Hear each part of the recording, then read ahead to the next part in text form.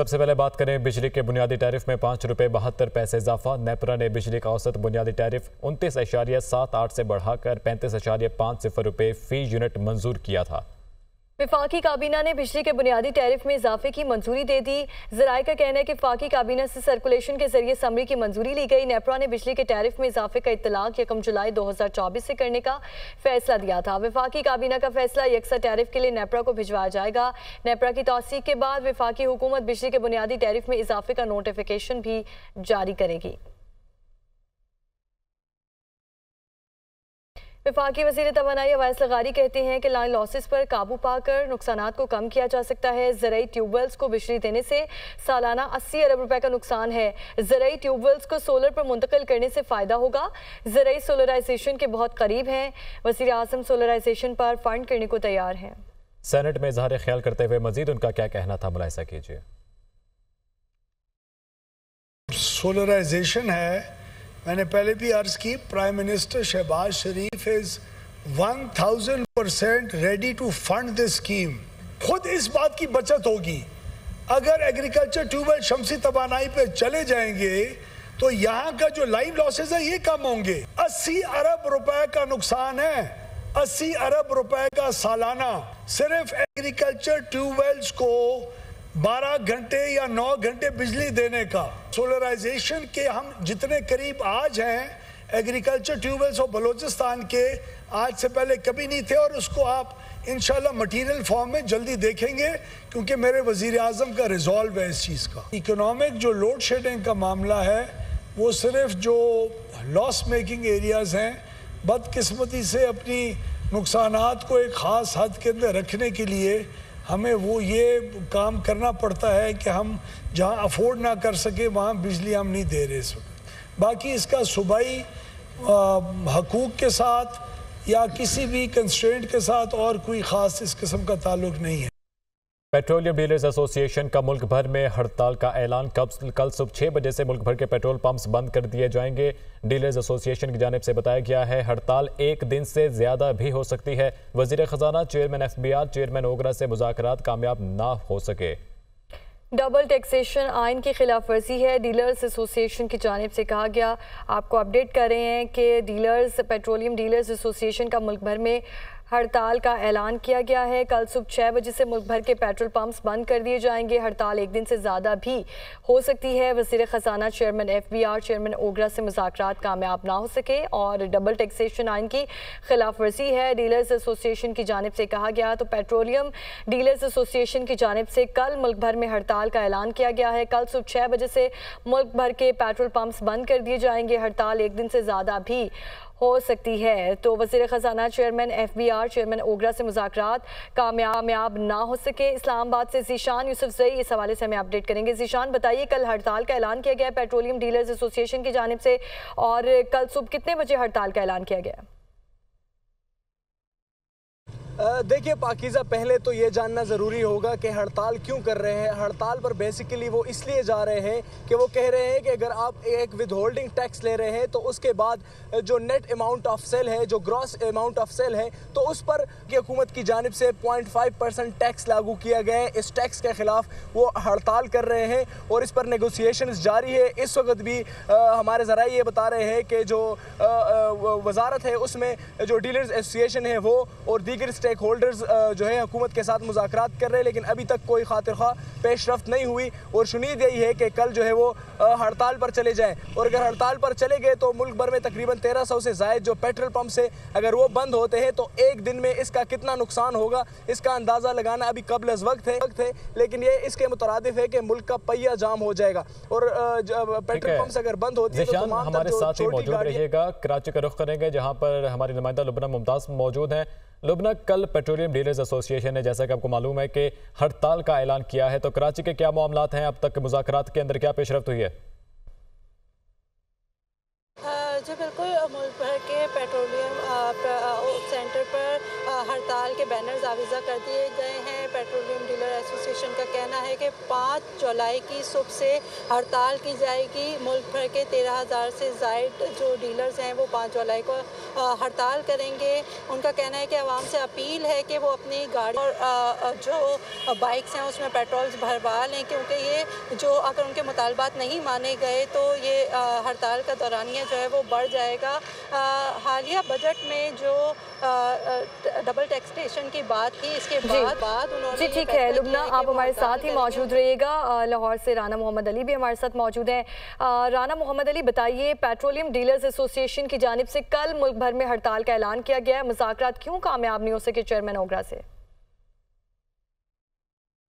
जी chairman ओगरा और इसमें जो वजारत ख़जाना के जो चेयरमैन वो भी बैठे थे, इसी तरह दीगर जो पेट्रोलियम मसनूआत के अफसरान वो भी मौजूद थे, लेकिन वो मुजाकर कामयाब ना होने पर उन्होंने पाँच जुलाई की डेट दी और आज रात बारह बजे के बाद ये पेट्रोल पम्प जो ड्राई होंगे, वो सुबह तक वो पेट्रोल की सप्लाई नहीं मिलेगी उनको।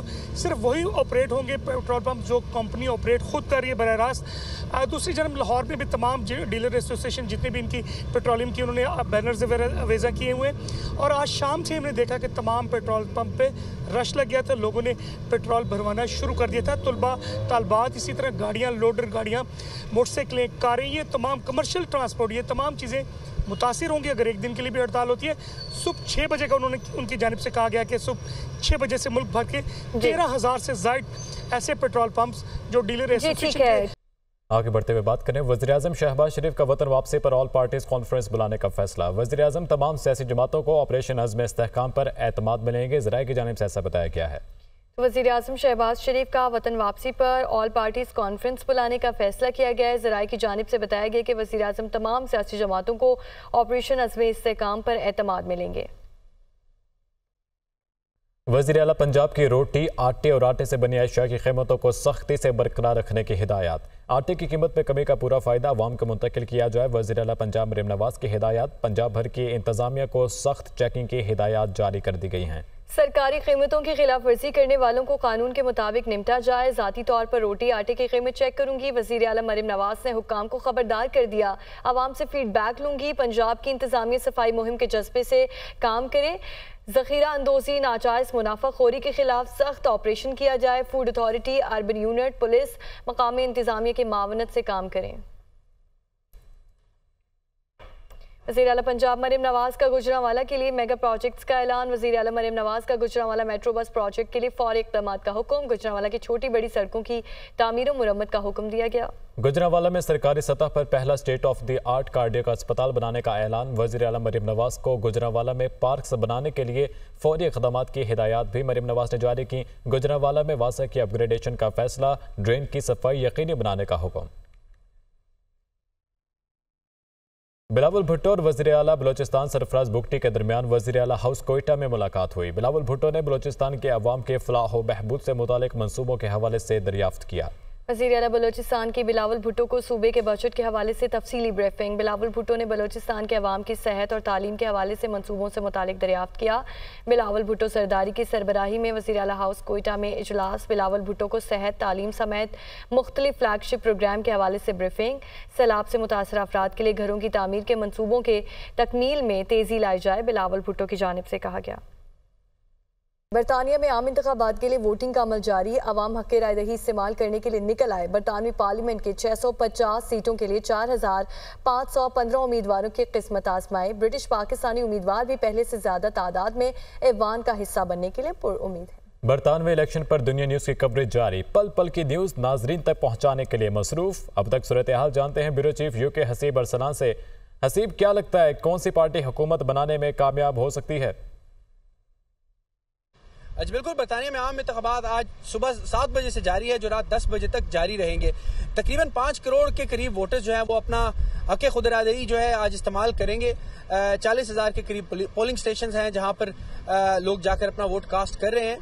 इस इलेक्शन की बात की जाए तो सबसे अहम बात आज के इलेक्शन की यह है कि सबसे बड़ी तादाद में जो है तारीख के मुकाबले में अगर देखा जाए तो सबसे बड़ी तादाद में इस दफ़ा पाकिस्तानी और कश्मीरी नजाद बरतानवी शहरी जो हैं वो इलेक्शन में हिस्सा ले रहे हैं। कुछ मेन स्ट्रीम पार्टी से और कुछ आज़ाद उम्मीदवारों की हैसियत से जो है वो इलेक्शन लड़ रहे हैं।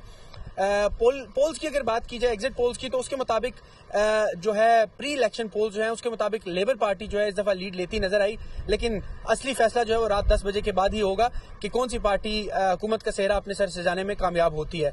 मौसम की अगर बात की जाए तो सारे दिन मौसम बड़ा खुशगवार रहा, हवाएँ चलती रही, लेकिन ड्राई वेदर रहा, जिसकी वजह से टर्न आउट जो है अच्छा खासा देखने में नज़र आ रहा है। छुट्टी के बाद जो है इस टर्न आउट में मजीद इजाफा जो है, वो देखने में आएगा। लेकिन 10 बजे तक बगैर किसी ब्रेक के, ये पोलिंग का अमल जो है, वो जारी रहेगा। जी। मुल्क के बेशतर इलाकों में बारिशों की पेश गोई पंजाब पोटोहार खैबर पख्तनख्वा सिंध आज़ाद कश्मीर और गिलगित बल्तिस्तान में बारिश मुतव है। भारत की जानब से पानी के मुमकिन अखराज की सूरत में दरियाओं में पानी का बहाव मजीद बढ़ने का इम्कान। शहरी इलाकों में सैलाबी सूरत हाल और नदी नालों में पानी के बहाव में इजाफे का इम्कान। मुसलसल बारिशों के बायस गिलगित खैबर पख्तनख्वा और कश्मीर के पहाड़ी इलाकों में लैंड स्लाइडिंग का खतरा। अवाम सैलाबी रैलों को बूट करने और सैलाबी पानी में जाने से गुरेज करें। एन डी एम ए का सयाहों और मुसाफिरों को गैर ज़रूरी सफ़र से गुरेज करने का मशवरा। मुल्क के बेशतर इलाकों में बारिशों की पेश गोई पंजाब पोटोहार खैबर पख्तनख्वा सिंध आज़ाद कश्मीर और गिलगित बल्तिस्तान में बारिश मुतव है। भारत की जानब से पानी के मुमकिन अखराज की सूरत में दरियाओं में पानी का बहाव मजीद बढ़ने का इम्कान। शहरी इलाकों में सैलाबी सूरत हाल और नदी नालों में पानी के बहाव में इजाफे का इम्कान। मुसलसल बारिशों के बायस गिलगित, खैबर पख्तनख्वा और कश्मीर के पहाड़ी इलाकों में लैंड स्लाइडिंग का खतरा। आवाम सैलाबी रैलों को बूट करने और सैलाबी पानी में जाने से गुरेज करें। एन डी एम ए का सयाहों और मुसाफिरों को गैर ज़रूरी सफ़र से गुरेज करने का मशवरा।